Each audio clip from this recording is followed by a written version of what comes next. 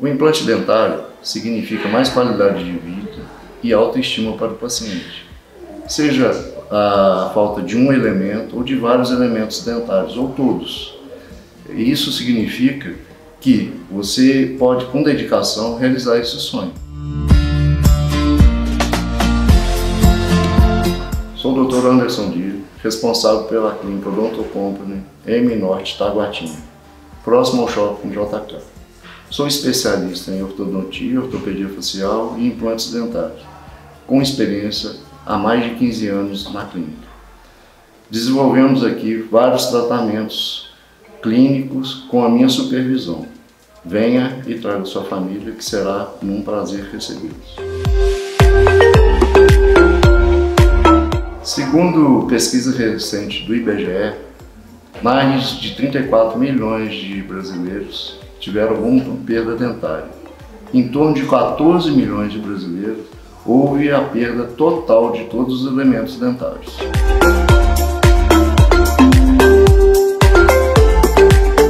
É, o implante dentário foi, nos últimos anos, a evolução da odontologia, onde se substitui a raiz do dente por um material biocompatível que não tem rejeição ao corpo humano que é o feito de titânio, onde substitui a raiz perdida de um ou vários elementos, voltando a, a ter a sua mastigação normal e a estética também.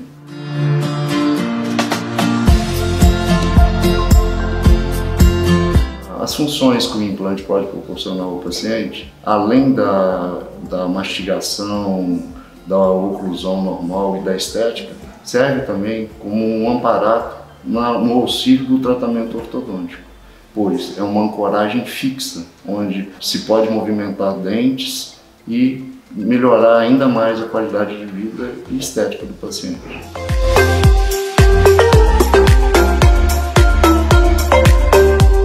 Quem pode receber implante dentário são pessoas acima de 18 anos, pois o crescimento maxilar e mandibular ocorre até os 18 anos e um crescimento residual até 21 anos. Então, a partir de 20, 18 anos, qualquer é, pessoa que não tenha nenhum problema sistêmico pode ser instalado um implante. A implantodontia na odontologia é uma especialidade praticamente nova, né? mais de 20 anos. Hoje em dia, comparando com o que era, é um procedimento bem é, simples Antigamente, no início, era uma cirurgia bem invasiva, onde se havia corte, os exames de imagem não eram tão precisos. Hoje, com a tecnologia, se faz uma cirurgia guiada, sem corte, em que, com os exames complementares, que são a tomografia ou os raios-x, conseguimos detectar outros tipos de lesões, lesões endodônticas, é, ou mesmo lesões sistêmicas, porque para fazer o, o, implante a gente solicita não só exames de imagem, mas também exames sistêmicos, como exames de sangue, mas isso você só vai conseguir realizar vindo aqui para a gente fazer uma, uma anamnese completa da sua saúde e realizar o procedimento.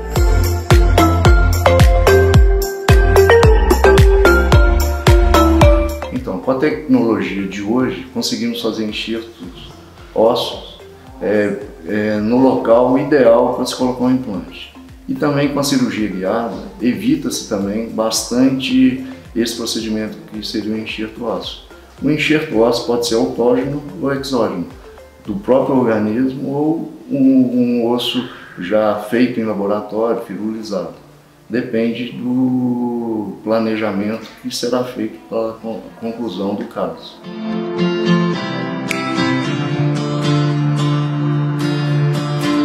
A partir do momento que o paciente chega na clínica, é, é executado um raio-x panorâmico, onde iremos ter uma visão é, geral da boca do paciente e com uma equipe multidisciplinar será feito um planejamento em cima do que foi é, avaliado no raio-x e clinicamente. A partir daí, será é, marcado ao paciente as consultas em que ele será, onde serão executados os procedimentos. E não se preocupe, a nossa equipe é, através de mensagens, irá é, lembrar o paciente da sua consulta e também pós-cirúrgico, sempre entramos em contato com no máximo 24 horas para saber como é que o paciente é, está passando após a cirurgia. Se houve algum transtorno que não acontece, mas a gente tem esse feedback para o paciente se sentir mais é, seguro com o procedimento. Não é um, um procedimento em que é, a gente tem alguma dúvida, é simples ter uma, uma melhor recepção do paciente perante o procedimento.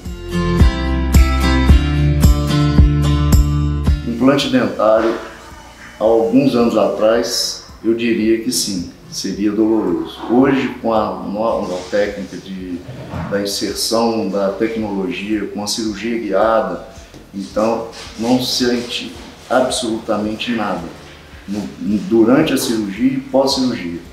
Pode ficar tranquilo que não, não sentirá nenhum tipo de dor. A, a, seguindo as recomendações de repouso pós-operatório, é, o implante é como se não tivesse acontecido nada.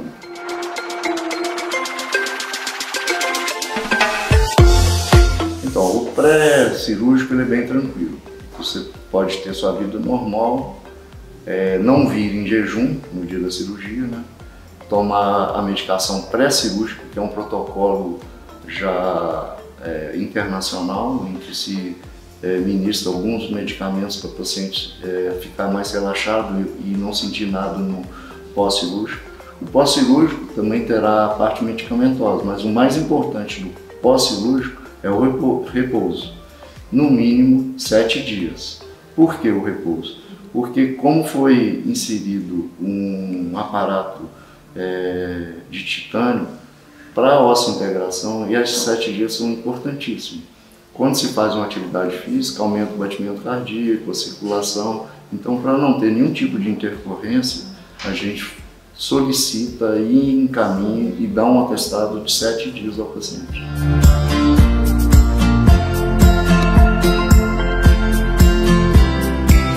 Aqui na Odontocom M Norte, realizamos os tipos de implante é, unitários e o protocolo. Unitário é quando a, a, o paciente é, perdeu algum elemento, um, dois ou três, então são feitos o implante unitário. E quando se perde toda a arcada dentária, é onde é realizado um protocolo que pode ser de 4 a 6 implantes por arcada. Nossos implantes realizados aqui na Odonto Company M Norte são de última geração, que é o cone Morse. Tem o HE, que é o hexágono externo, HI, é o hexágono interno, e o cone Morse. O cone Morse é o top dos implantes. É o que a gente preconiza e utiliza aqui na Odonto Company. Então venha e traga sua família, seu irmão, sua esposa, ou mesmo os avós, que já estão com a idade mais avançada, onde necessitam reabilitar e aqui será tratado com todo carinho. Sobre a manutenção do implante, se é necessário ou não. Sim, é necessário a manutenção do implante. Por quê? Porque o implante depois instalado, ele vira praticamente um dente. Se você não tiver uma higiene correta ou o uso do fio dental diário, você pode causar uma pele implantite e perder o implante. Então a consulta regular ao dentista se mantém. Não é porque fez implante que não precise mais ir ao dentista. A necessidade de se fazer a manutenção é real. Normalmente uma vez por ano e em alguns casos até de seis em seis meses.